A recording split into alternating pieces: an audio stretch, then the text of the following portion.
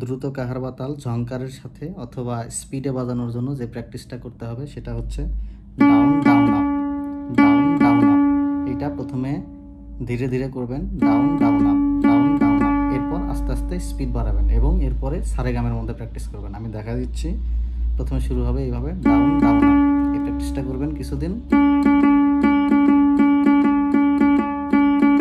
এরপর আস্তে আস্তে স্পিড বাড়াবেন।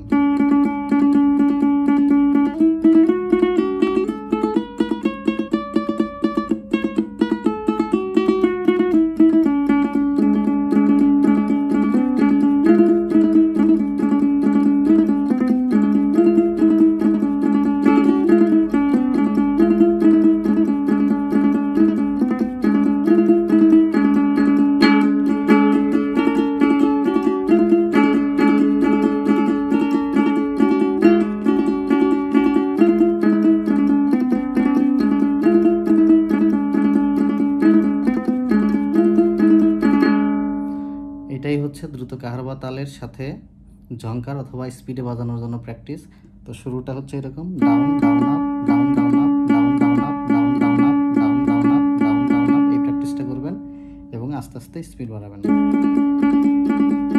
অবশ্যই এক তারে প্র্যাকটিস করবেন এবং পরে আপনার দক্ষতা অনুযায়ী দুই তারে বাজাবেন। কিন্তু শুরুতে প্র্যাকটিসটা এক তারেই করতে হবে।